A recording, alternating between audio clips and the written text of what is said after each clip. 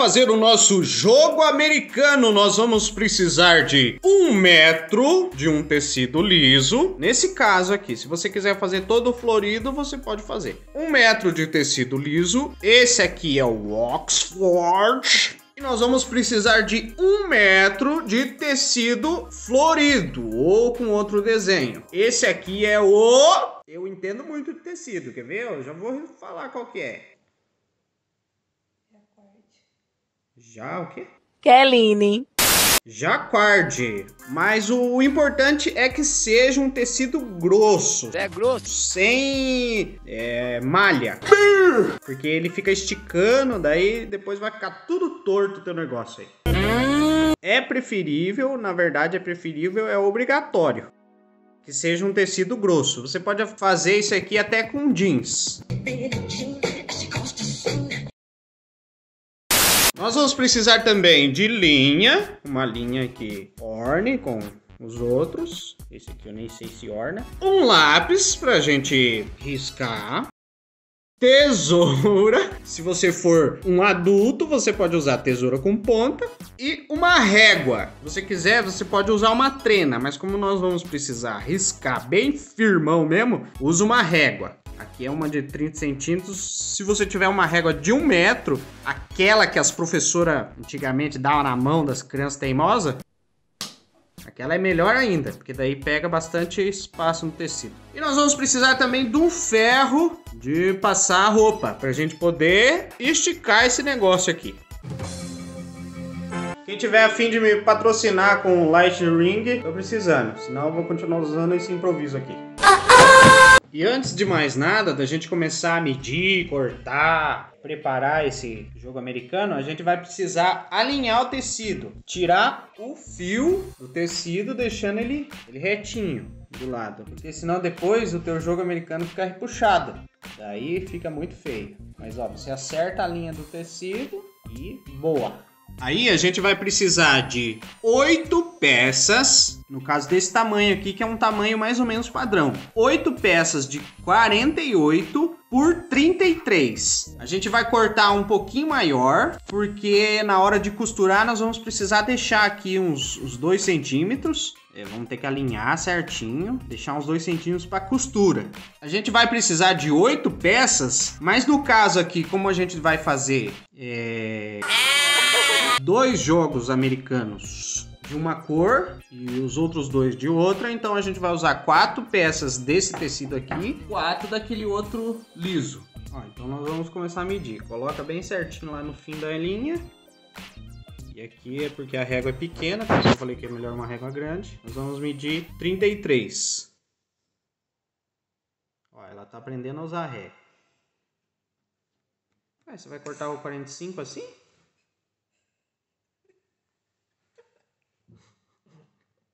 Sua altura não é 33? Você tá medindo 45. Eu medi 43, eu sou muito burra. Vamos Ó, 30 da régua, mais 3, 33. Acertou. Eu sei que eu tinha bugado com as medidas aqui. Ai, ai. Ai, Ó, 33 de altura, você tira no espaço daqui, aí você anda mais ou menos o, o, o 48 pra lá e faz mais uma linha. Acho que já deu. Eu vou fazer. Não. Eu vou fazer vários risquinhos aqui pra, ter um norte melhor. Agora vamos medir 48 no comprimento, que são 30 da régua mais 18. Ó, eu, eu começo da. Porque aqui é tipo um- uma bainha, então eu começo a contar a partir da, do tecido de fato. Então, ó. 30 mais 18. Ó, certinho aqui meu risco, viu? Você ficou me zoando. Tem uma Não sei, eu base vou- de eu vou- medida. Não sei, eu vou conferir pra ver se é isso mesmo. 30 30, vamos ver. mais 18. 18. Aqui. Ah, então tá certo. Aí depois de fazer alguns pontos ao longo do tecido, com as medidas, você vai precisar ligar esses pontos. Aqui Pra é gente pra poder cortar. Fica mais fácil de cortar. Agora, se for bom de zóio e quiser cortar. Não, não arrisca, faça isso. Faça vários risquinhos, daí tira a medida. você não errar e não perder tecido. Tecido não é tão barato assim, não. Aí, e faltou esse meio aqui. Ah, não, tá arriscado. Tá sério, hein? Tô. Precisa ir no, no zoísta. Ó, e vamos começar o corte. Estica bem o tecido e segue a linha.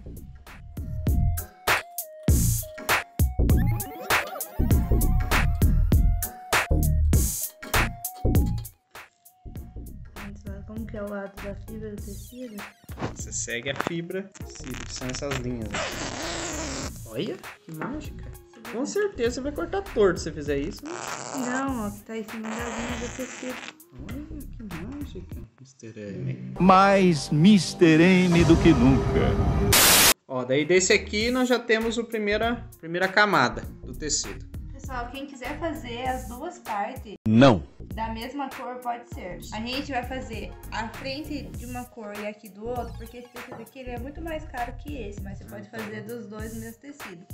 Outra questão, tem que coloca no meio, faz um sanduíche com TNT. TNT, pra ele ficar mais firme. Por que, que eu não tô fazendo? Primeiro, porque a gente não tem máquina de costura, a gente tá fazendo à mão, então três camadas ficaria bem mais difícil. Ah, esse é o detalhe. E, e esse tecido aqui, ele já é bem grosso, então ele fica firme. Então eu não achei necessário colocar o TNT. Mas quem quiser colocar, pode fazer essa, uma camada de TNT e o tecido de fundo. Ele fica bem firminho, bem durinho.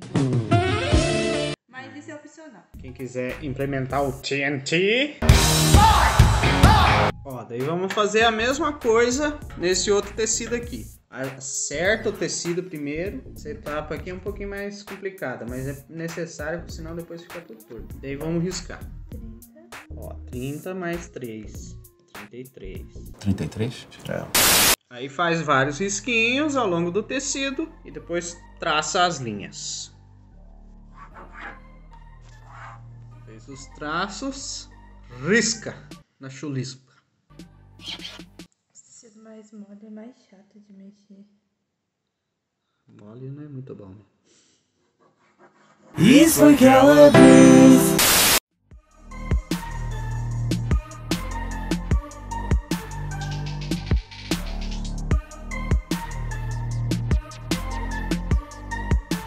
Ó, gente, aquele, aquele efeito que eu falei no começo, que eu falei que era malha, na verdade é lycra. Esse, esse tecido aqui tem um pouquinho de lycra. De preferência, pegue um tecido que não tenha lycra, que É. fica bem mais fácil de trabalhar. Você quer? Segura certo que você tá é, atrapalhando. Nossa, mas eu tenho só duas mãos.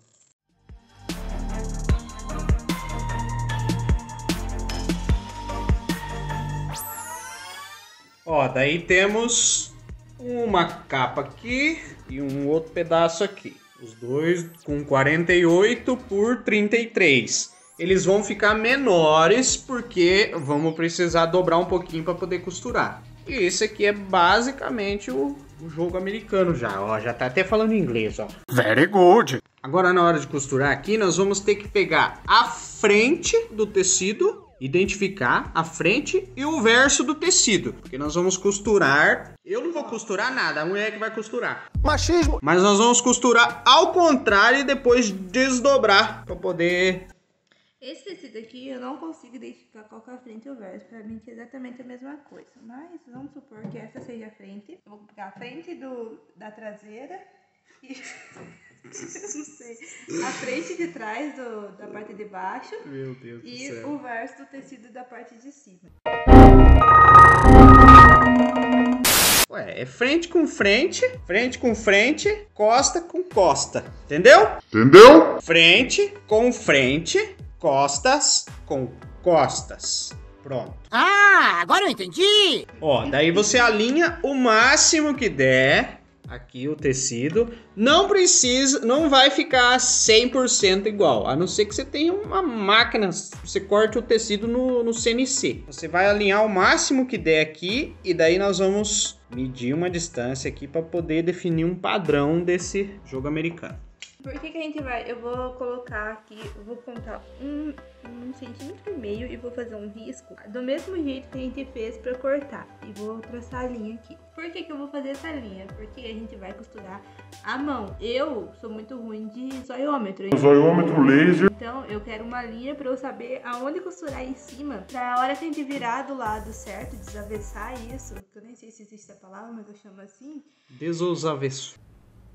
Ficar reto, senão ele fica todo torto. Então é importante que a costura seja passado reto. Se tiver uma máquina de costura, você consegue costurar reto seguindo a máquina de costura. Mas considerando que a gente vai costurar a mão, por isso eu vou fazer essas medidas. Eu vou contar aqui um centímetro e meio, tá? Aí, um centímetro e meio, você faz vários risquinhos, depois traça uma reta e começa a parte da costura.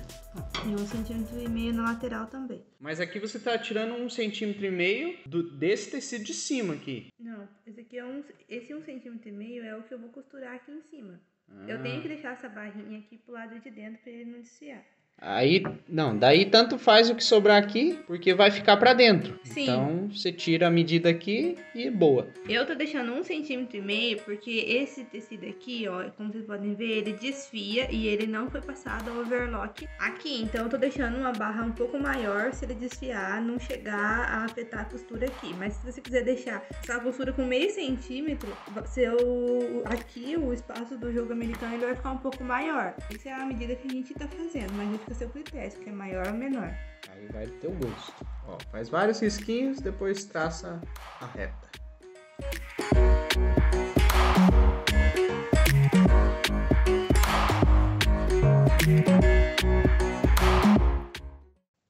Agora o desafio de enfiar o. Não tô nem enxergando a agulha. Tô vendo. Você passa um tantão bom de linha aí. O tanto de linha não tão bom. Tanto. Ó, vou costurar tanto. essa parte aqui primeiro, tem uns quatro dedos mais maior que o Mais tecido. maior de grande. Não, daí dá um nozinho na ponta, não sei se dá. Ó, daí. Você enfia por baixo e tira por cima. Assim que costura. Aqui é só pra prender bem, pra não ter perigo de escapar. O começo é o mais importante. O importante é que o cantinho fique bem alinhadinho, porque depois que virar do lado certo, desavessar, se você fizer meio arredondado, você não consegue fazer o biquinho. O lado de fora ele fica o canto bem arredondado, tá? Eu fiz aqui uns arremates, vou fazer mais um pra ficar bem forte, pra não ter perigo na hora de lavar ele soltar. Daí agora eu vou começar a dar os pontinhos em cima da minha linha aqui. Coloca ponto mais junto, mais largo. Eu vou fazer mais largo porque eu já tô cansada e tá doendo minha mão.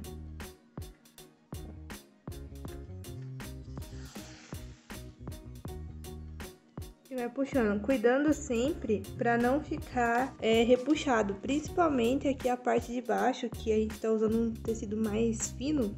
Dependendo do tanto que você puxa a linha aqui, ele fica repuxado, tá? Então sempre ir olhando aqui o verso como tá ficando. Estica. E é isso. Você não precisa fazer um por um. Vai passando a agulha. Um tantinho aqui. Umas duas, Hum, o tamanho que a agulha aguentar. três. Se tiver paciência. Eu, como Quatro, vocês podem ver, eu tô com muita paciência e delicadeza. Puxa e costura.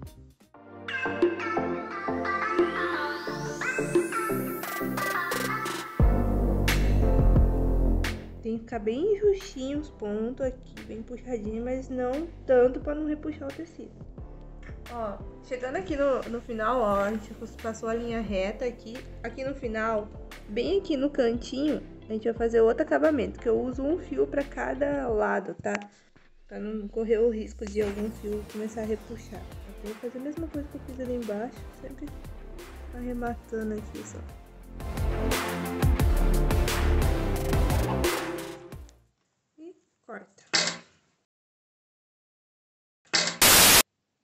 E vai pro desafio de passar de novo. Senta aqui Nossa, e enxerga. primeiro, meu Deus do céu, nem acredito no negócio desse. Visão de uma coruja. Não sei qual animal tem mais visão. O... Falando a bandeira. O Blake. É Blake. Vai ficar com o nariz aqui em cima mesmo? Vai ficar? Ei, vou te dar uma agulha e uma linha pra você ajudar aqui, hein, cara. Você acha que é só comer ração?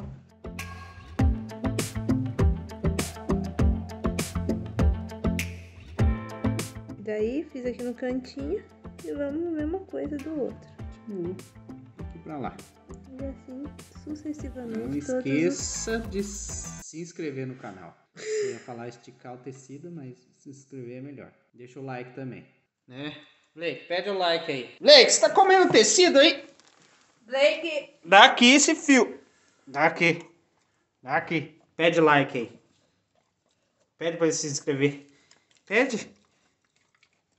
Dá esse tecido aqui.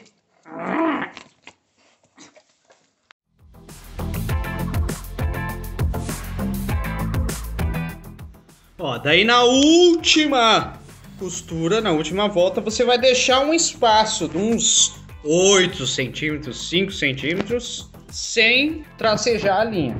Por quê? Porque agora a gente vai precisar virar dos avessos e terminar essa costura. E não arrebenta a linha também, ó. Deixa ela, continua com ela e a agulhinha. Aí, agora nós vamos virar dos avessos. Desavessar. Ó, estamos desavessando.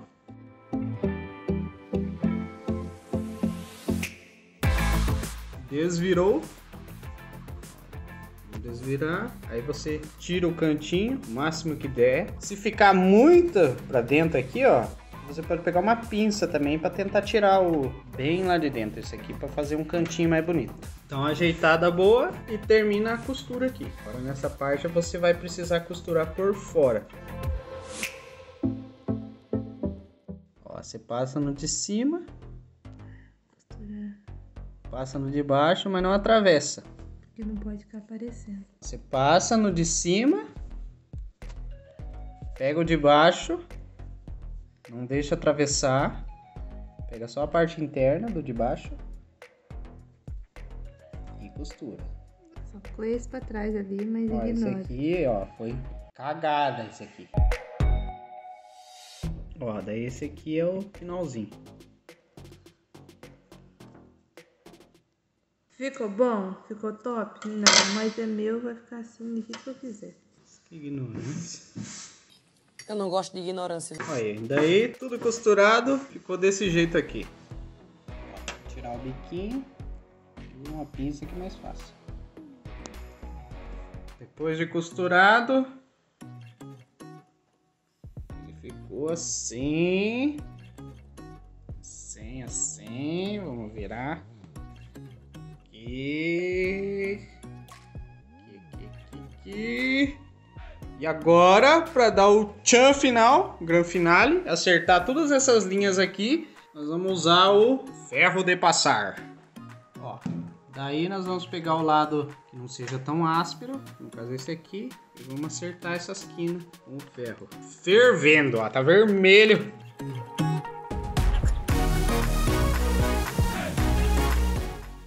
Ó, depois de passado, dá um ênfase nas esquinas. Dá pra tirar um pouquinho mais o. Aí temos um negócio americano. Pôr os pratinhos em cima e você servir aquela visita top que vai na tua casa.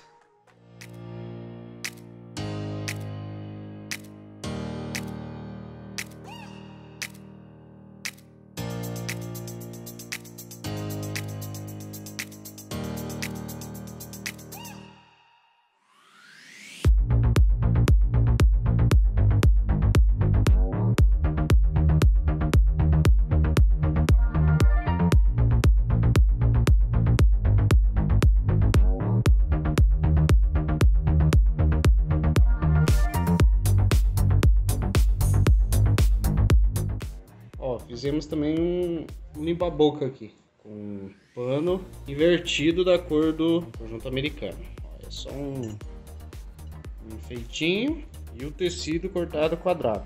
Esse aqui a gente fez com fio de nylon, pedrinha e pra Pronto, aí aqui só um quadradinho e foi feita uma barrinha nele pra não desfiar e ficar mais bonitinho. Esse é o resultado.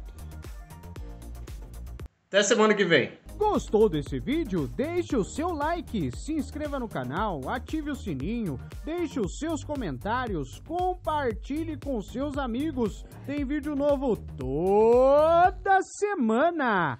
Até a próxima!